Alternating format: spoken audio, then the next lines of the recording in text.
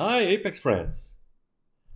Today I want to show you your options where to download and, and how to install FOS plugins or any Apex plugin for that matter into your uh, Apex application. Number one, GitHub. We got a GitHub link here in our demo app, but you also find us on, on GitHub. Just search for FOS or FOEX open source. Uh, you'll find a list of repositories and then you pick the one you're interested in. Let's say the FOS execute PL/SQL code. At the right hand side, you find the releases. Pick the version you're interested in. Right now, um, that's just one, but there will be more versions in the future. Click there, download. There you go. So you have a zip file, un unpack it, and then you can already go to your Apex application.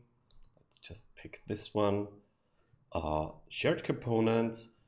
Here you find plugins, and then you can simply say, well, import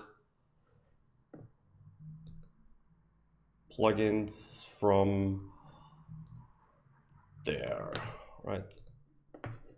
Pick that next, next, and there we go.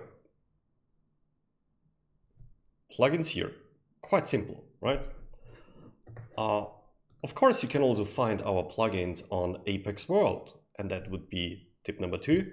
Check out Apex World, you can search for FOS or for just plugin name, and then you pick the one you're interested in, let's say FOS notifications.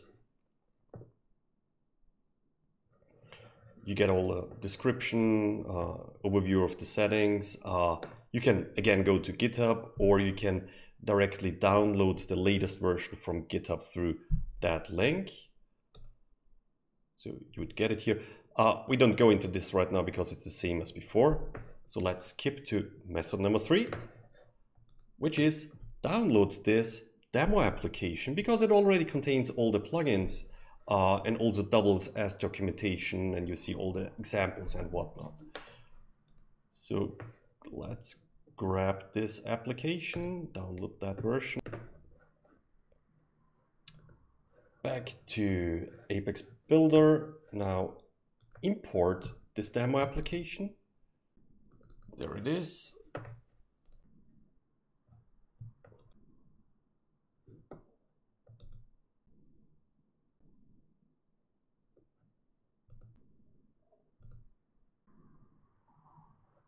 So there we are, application installed.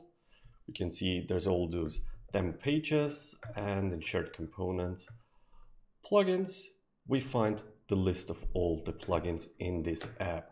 So if I want to get those plugins now into my other application, I open the shared components plugins of this other application. And in here, instead of saying import, I can pick create as a copy of an existing plugin, which now lets you pick the FOS demo application as source of plugins, and it shows you all the plugins in the demo application. And you can then decide per plugin, do you want to copy it over? Uh, do you want to copy yes, no, or, and that's my recommendation, copy and subscribe, which lets you, when there is a new version of the demo application, lets you easily push all those changes out to your subscribed applications.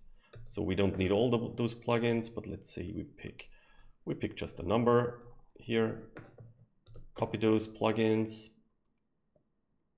and here they are, and you can see they are subscribed from the demo application. And then it's easy to update them when a new version comes out. So, hope you like that. Uh, take them for a test run. Let us know what you like, what you don't like, what we can improve, uh, and have a great day.